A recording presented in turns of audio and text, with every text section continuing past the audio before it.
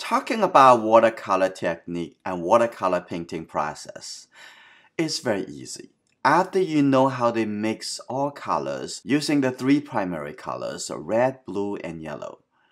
And the next thing we're going to talk about how to apply the colors to the watercolor paper. And also we're going to learn how to take the color away from the watercolor paper to return it to be lighter areas. Then I'm going to show you how to paint a watercolor painting from the beginning to the end. The whole area, say, is this color, is that red color. So how depends on how dark is the color. So you're to decide on how much water you want to mix into the color, right? For example, over here, I'm to put this color in here. So this color is called flat color because it's just one color all the way, right? So I'm going to make the colors a little bit different from one end to the other end. I'm going to mix in with this color. For example, I'm going to have this color on this side. And on the other side, I'm going to wash my brush and just leave it just the water and let this color coming in. And this is called gradient wash starting from one color, turn to the other color. And or you coming over here like say, okay, I'm gonna do the dark blue color like the the midsummer night. Okay, I'm gonna have this color. Now I'm gonna get the color a little bit lighter. Just not adding more color, just adding water. I'll let go the color too. Now I get the, let the color lighter and lighter and keep coming down. This is a gradient wash from one color to the other color. And even at the, at the end, you also change it to the yellow color. And the yellow color, it can coming down to a little bit lighter, and it come to a little bit purplish color. I don't know what what is going on in the sky, but that could happen. So this is called gradient wash. From one color, go to the other color and change it. One more thing that I want to show to you is, it's called lifting up colors. I actually pretty easy. You have the color over here, and I don't want the color. I want the color to be lighter, and that's you can take the color out from the paper. Let's do this right here. And this is still very wet, right?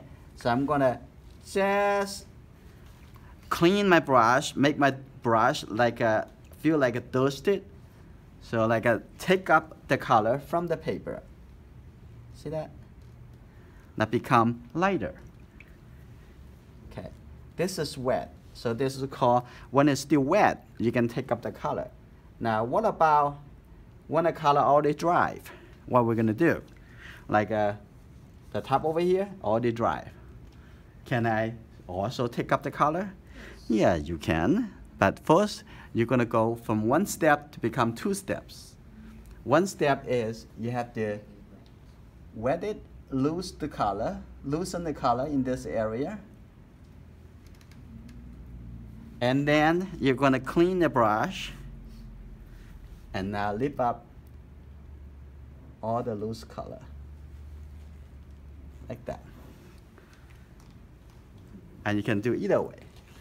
So this is a very very special technique for watercolor most other medium you just mix a lighter color and just cover it. But watercolor we don't want to cover by the white color. Which take the color out. Keep it simple. I already drew the pencil line for the horse on the watercolor paper. Next, I'm gonna wash the entire background first before I take out the color for the shape of the horse. What kind of background we want it to be? The fall is coming, so we're gonna make the fall color for that, right? Let's see, and the top over here maybe have a little bit blue, like this, in the sky, in a little gap, like this.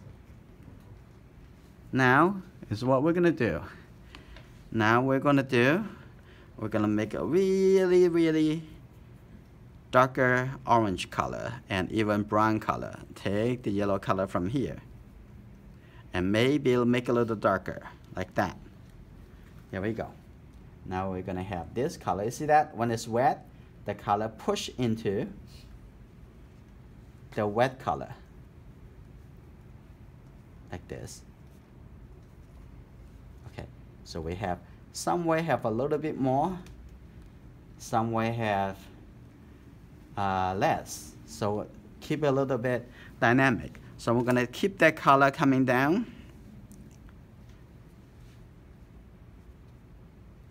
Maybe you're going to change the color a little bit. Maybe uh, some trees, it has a little bit more yellow color over here. Okay, like this. Okay, use your imagination. And getting a good reference is also important too. And now coming down to the ground, we're to have a little bit more brown colors. So I'm to need to mix with a little blue color. Now a little bit darker like this. Now it's on the ground. Now on the ground still have a little bit kind of um, a greenish, brown greenish, but probably a good idea to have a little bit more like a little cooler colors, maybe this kind of color. Okay, here we go. Like uh, on the ground.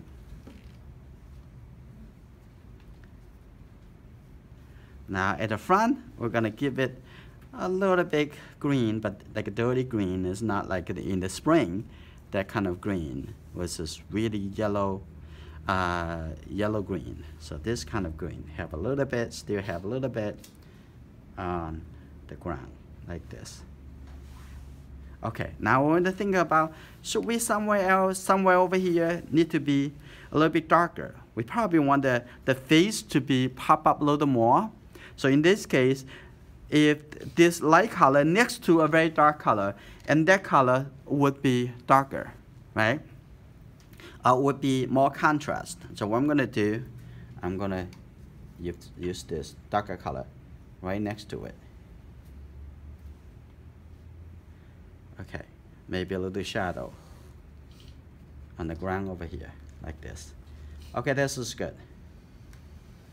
And what we're gonna do and we're going to do a little splash. Maybe even more somewhere. A little soft. Maybe too much, but I just can't stop it. All right, let's do it. We're gonna take up the colors. And first, what I'm gonna do, I'm gonna take up the color with the big brush. So because there's a lot more here, right? it's easier to take up the color. Now I'm gonna make the brush as little water as possible. I'm gonna just squeeze it. But what about you're gonna use like a totally dry brush? Like a dry without any water. It won't work because the water need some wet in between in order to connect with the wet, right?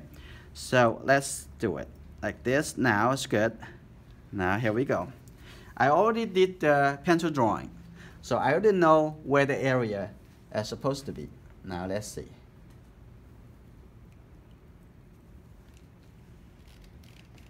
Okay, now I'm going to take out the color.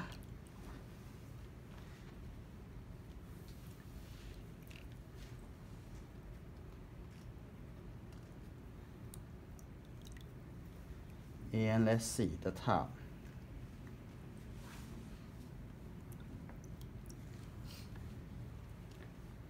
Okay, now quickly, I'm going to just take out the biggest, biggest shape, and I'm going to use the, my round brush to uh, do the smaller shape.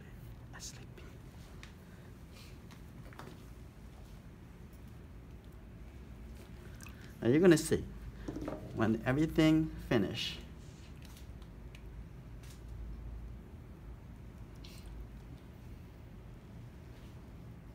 Like this. Just keep, lift up the color. Now, it's the here on the, on the back.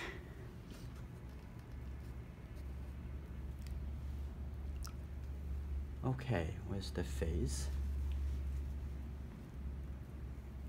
Now getting to the face.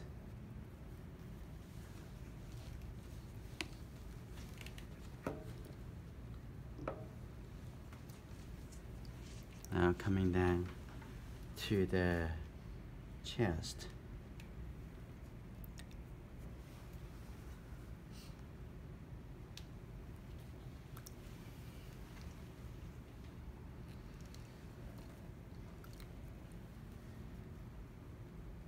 Now coming to the leg.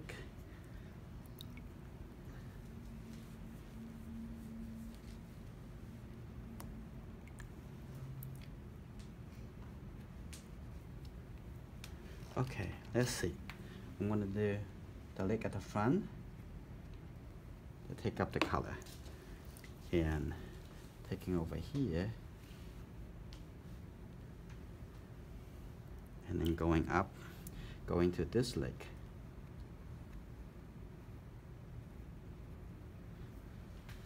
Now that's good. Now I'm gonna use my uh, round brush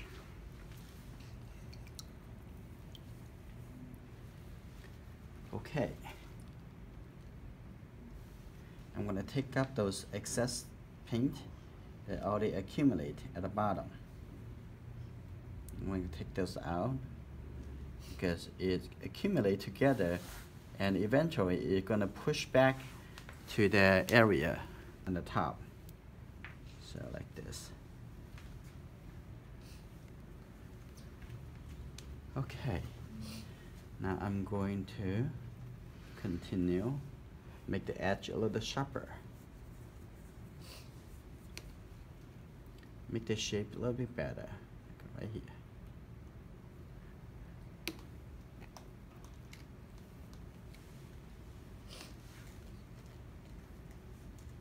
Look at the face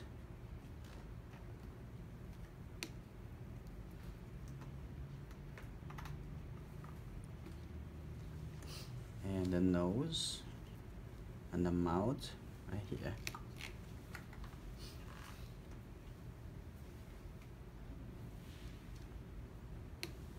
And the top over here has the hair.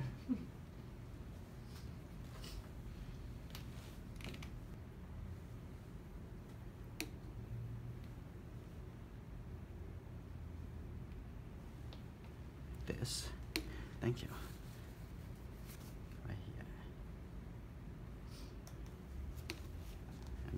Clean this. Take this out. And basically the horse still look fine. And here come out a little and that's good the horse face. And the back we're doing the mane okay now we're gonna on the back over here I want to be a little softer so I'm gonna have those very blur over and now we come to now I see over here. Right here.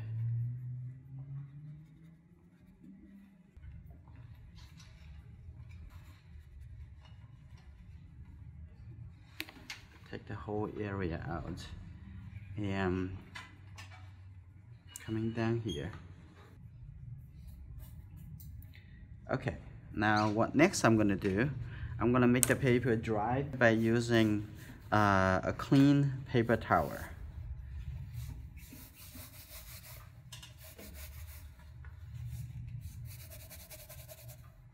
Now the area of the horse already returned to a light shape. Next, I'm gonna put some shadow shapes to suggest the forms of the horse. I'm gonna use my round brush, now I'm gonna mix, but the color doesn't need to be really dark. And actually this is a great good color, like a little gray colors. And I'm gonna working on the tummy first, right here.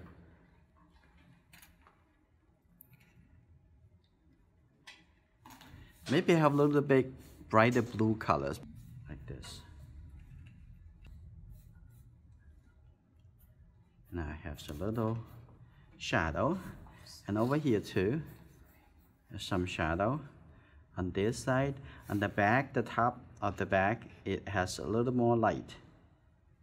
So keep a little bit blue colors right here. Just keep looking at your reference.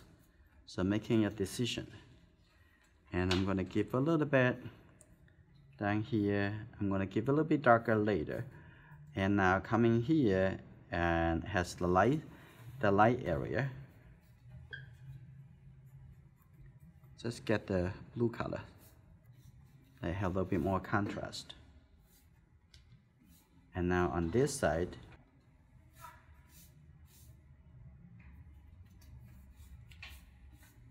like this.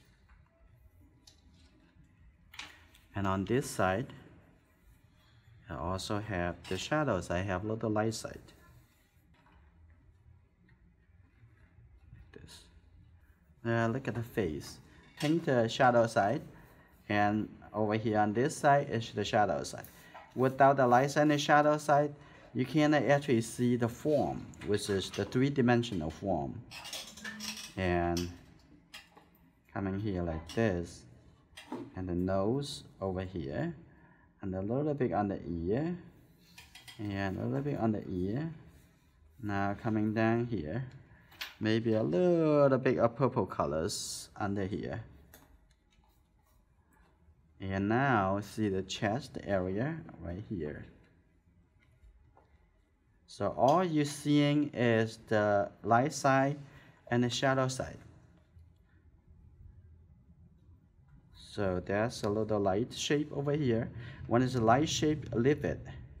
One is a dark shape paint on it. Like this. And the shadow side. Okay. And under here a little bit darker.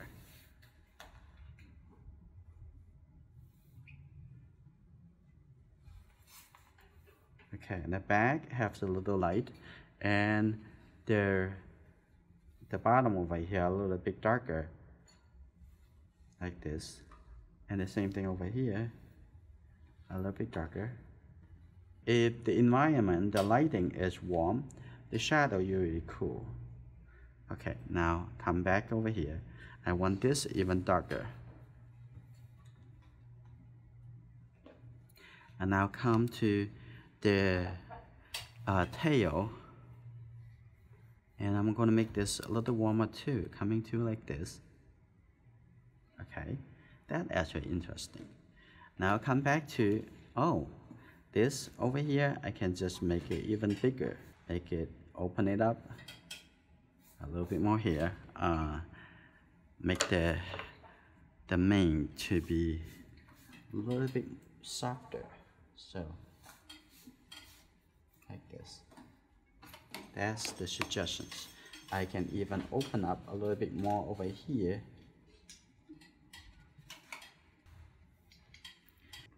Between the leg and the tummy, even darker. You see that? Okay. That a little bit darker. A little bit. Like that. Okay, now is the nose. I want to give a little bit the outside a little bit darker. So I want to give a even a little bit more contrast. So what I want to do is, okay, what I want to do, I'm going to start over here and give it a little, add a little darker background and move a little like this. Here you go. And then I can make more contrast. Okay now that's good the catch the shadow on the ground so I'm gonna make a little catch the shadow on the ground but makes a little bit darker color here